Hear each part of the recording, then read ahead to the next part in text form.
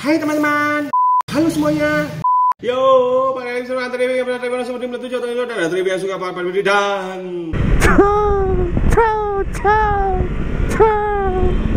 skip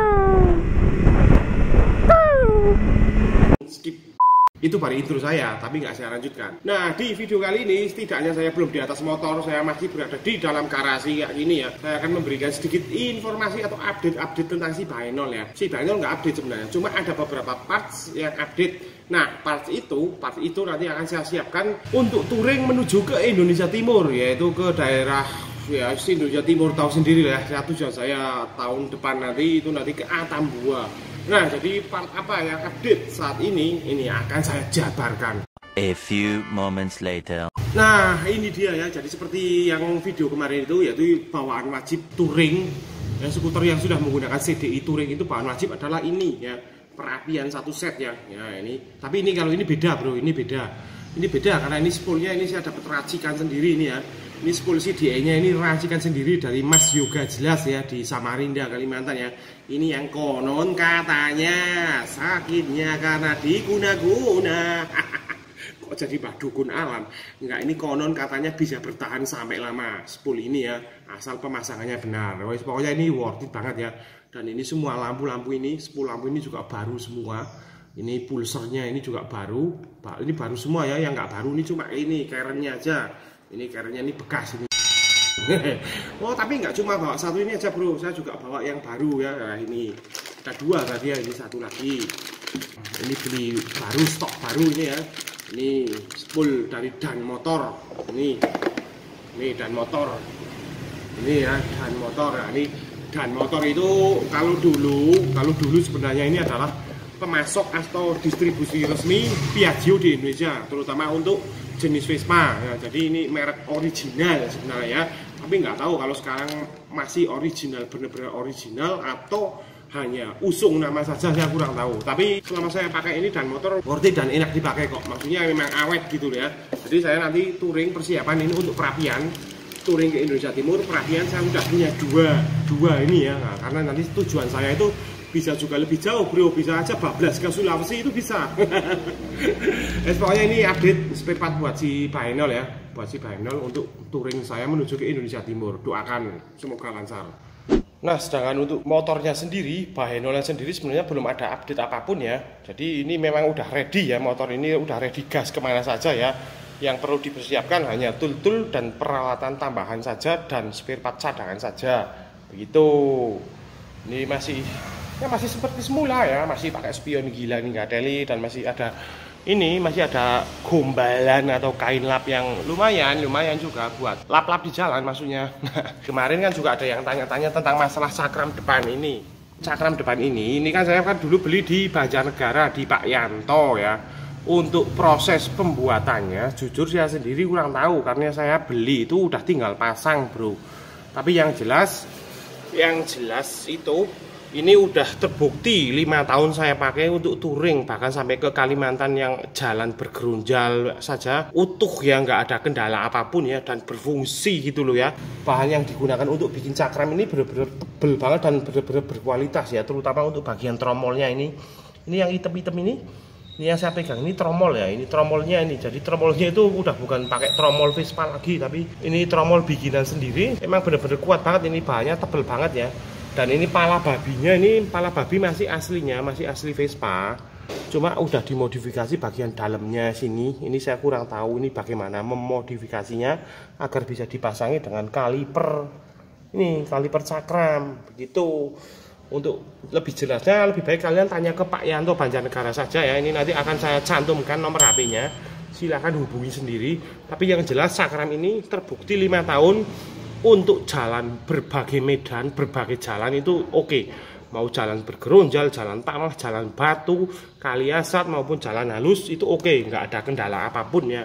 Jadi oh iya lah pokoknya lah ini ya. Itu hanya itu sebatas itu yang saya tahu tentang cakram ini. Jadi kalau kalian masih penasaran, monggo silahkan tanya-tanya di orangnya langsung. Nah, itu tadi adalah persiapan Vespa saya untuk menuju ke Indonesia Timur. Sekarang saya di sisi saya ada Mbak Giman. Halo bro, Nah, Selamat nanti pagi. Selamat pagi itu dapat salam selamat pagi dari Pak Giman. Nah nanti saya akan bongkar isi bagasi Vespanya Pak Giman itu seperti apa. Nah, itu kelihatannya kayak toko berjalan kalau bagasinya Pak Giman ya, bengkel berjalan dan toko berjalan. Namun sementara ini dia lagi ngelinting dulu, Nah, pakai tembakau lokal ya. Ini Ini tembakonya PLN. pulen. Nah PLN itu pulen. Nah. Nah, ini kondisi Vespanya Mbah Amin gimana? Di depan nggak ada plat nomornya, adanya cuma tulisan Sprinter Bandung. ini Vespa nggak karu-karuan, ini campur ada baja, ada sprint, ada Excel, pokoknya Vespa gado-gado. nah, sekarang kita ke orangnya langsung saja, Mbah. Ayo, Mbah, Baik. dibongkar apa saja? Mas Adri mau lihat isi dalamnya box-box ini. Nah, Hmm. ini termasuk onderdil secondan tapi masih mumpuni dipakai. Oh, ya, bekas tapi masih mumpuni. Termasuk ini ada semai juga. Senai. Nah, Eh. kala buring buringnya itu dol apa apa bautnya ini kita semai pakai 12 Oh, lebih oke. aman pakai semai Senai. 12 Eh, Terus apa lagi, Mbah? Coba kita intip dulu. Waduh, ini kalau ini kelas berat ini. Kalau ini udah bengkel berjalan dan toko berjalan ini ya. banyak macam-macam berbat bekasan ada selang bensin tidak ketinggalan Oh, selang bensin buat buat morot bensin jika Ya. ada yang kehabisan, Mbah. ya kalau kalau ada yang mau sidakoan biasanya saya itu selalu full tank terus Eh, Ya. sodakoan bensin. Eh, yes, pokoknya banyak banget ya. kunci busi fleksibel Oh, kalau itu wajib. bisa bisa untuk Vespa bisa untuk Honda Matic Eh, Honda Matic ya. ini bikin sendiri kita lihat di box depan Ada apakah geraman Nah, itu di box depan ya. Wah, jadi itu box depan. Nah, itu banyak sekali macam-macam WD ini perlu sekali Hmm. kalau onderdil anda ada yang karatan ini semprot saja pakai WD 40 pasti lenyap karatnya dan ini banyak eh, solasi ada kabel-kabel rem Kawat-kawat ya, Pak? Kawat ya Hmm. oli seal juga ada Hmm. nah ini ini penggantinya Tanggem. tanggem ini tang low tang betet Tang bedet ya, tang Nah, cepit. tang cepit. dan ini ada pula kita buka apa isinya oh jebolannya ini eh, termasuk center Oh, Center. center ya. Itu untuk keadaan darurat Nah. lampu mati. Nah, lampu mati. Setidaknya pakai center dulu. Jadi kondisi bagasi depan itu banyak banget sebenarnya, nggak bisa disebutkan satu persatu. Untuk kalian kalau mau lihat sendiri ya, ini banyak banget, super banyak. Dan bagasi belakang juga ini luar biasa, istimewa. Tool atau kunci-kunci dari berbagai macam ukuran itu gila-gilaan ini ya, dipahamin ya. Termasuk spare part spare part, baik spare part baru maupun spare part bekas itu banyak banget. Ini apa, Mbah? ini oli seal Oli dan seal. enggak Wah, oli seal ludah ini baru apa bekas, Mbah? ini baru Oh, baru? Wah, enggak, kalau oli bekas. enggak pernah pakai bekas Oh, ini baru ini. Baru. Oh, baru tapi rasa bekas. memang sudah lama di nah ini 10 CDI nah, 10 CDI kan tuh. bikinannya Om Dol Nah, ini bikinannya Om Dul ya, nyepul sendiri ya, Ya, Nah, sendiri. itu wajib itu, Mbah Gima soalnya pakai mesin Excel, jadi wajib bawa 10 CDI. Apa itu, Mbah? ini penggantinya oli Samping. samping Nah, itu apa? ini bimoli Oh. Bimoli untuk keadaan darurat ya, Darurat. jangan dipakai terus, jangan dipakai terus. Itu hanya untuk keadaan darurat saja. Dua tak ya, motor dua tak. bolam-bolam banyak itu ada Hmm. WD eh, ada eh, H4 Oh, H4. bolam hampat. kita pakainya 190 Wah, gila-gila. karena mesin Excel saya nggak pakai Kiprok. kiprok jadi Mm-mm.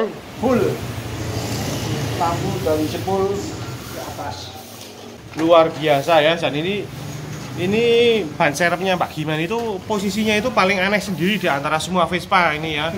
Ini ini bikin sendiri dudukan ban serepnya itu bikin sendiri ya. Jadi kalau beli di toko nggak bakalan ada karena ini bikin sendiri dudukannya. Ini paling aneh sendiri di antara semua Vespa ban serepnya posisinya di situ. Ya nggak aneh sebetulnya. nggak aneh mbah. Kenapa kok nggak aneh mbah? Soalnya biasanya kalau yang yang tipe yang lama itu kan di atasnya sini. Heeh. Jadi malah ganggu pembonceng. oh ganggu pembola nih sebentar Ganggu pembonceng. Jadi kan ininya gaduk sama pembonceng. Heeh. Ini kan oh lebih fleksibel. ini lebih fleksibel ya kalau tipe yang beli di toko ini ke atas dan Ya. mengganggu selangkangan pembonceng ya bagasi yang belakang nggak bisa dikeluarkan semua karena terlalu repot untuk Wah, dikeluarkan banyak ya. sekali. Banyak sekali pokoknya intinya bengkel berjalan dan toko berjalan kalau bagasi belakang. Selama ini Mbak Giman selalu mengindili di belakang nggak pernah di depan karena sebagai sweeper dan sebagai mekanik. Tambang juga ada. Tambang juga ada buat mendorong Ya. atau menggeret Menggeret. Kalau ada teman-teman yang yang, trouble nggak bisa nyetep ya Mbak. Nah, ya. Oke, wes lah.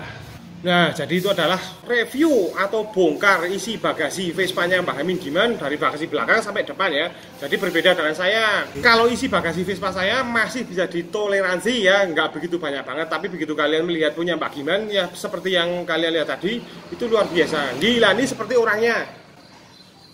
Tapi itu semua demi keselamatan dan untuk jaga-jaga ya. Dia payung sebelum Jalan di jalan.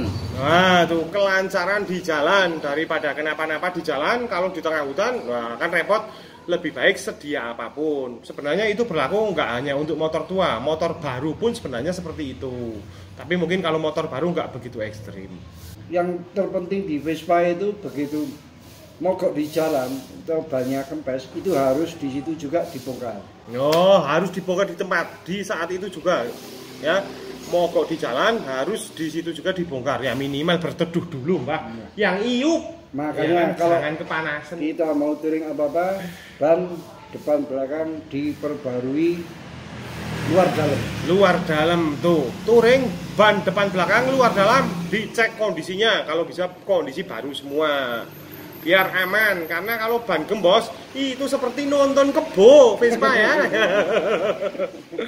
Oke wes mungkin cukup sekian dulu videonya yaitu bongkar bongkar bongkar Vespa terutama Vespanya Mbah Amin Giman dan Mbah Amin mungkin mau mengucapkan sesuatu Oke. Selamat jumpa di lain waktu. See you again next time.